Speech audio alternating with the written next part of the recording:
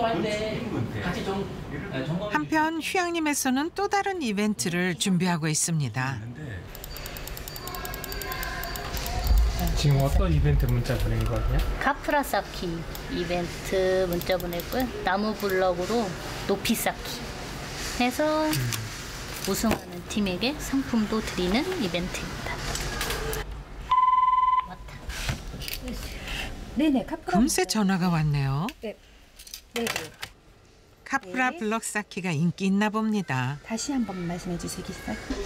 아 아이 두 명이시고 알겠습니다 그러면은 전화가 바로 오네요. 네 문자를 보내자마자 네.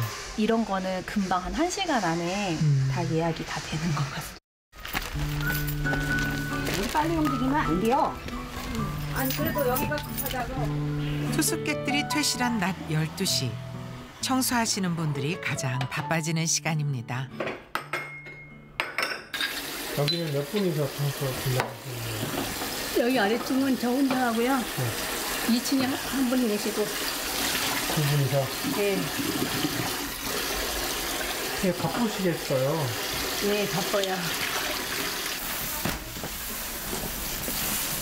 퇴실 이후 입실 시간인 오후 3시까지 모든 청소를 끝내야 합니다. 시간 싸움이죠.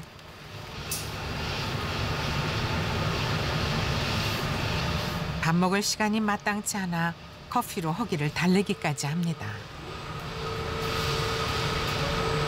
제일 힘든 게 어떤가요?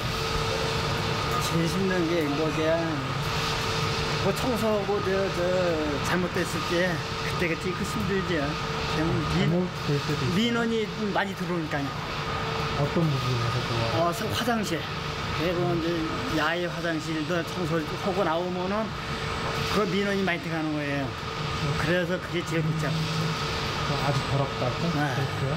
아침에 우리가 그 하고 와도 금방 그게 더럽거든 야외에서니까 그, 그, 그 게 제일 애로점이 커요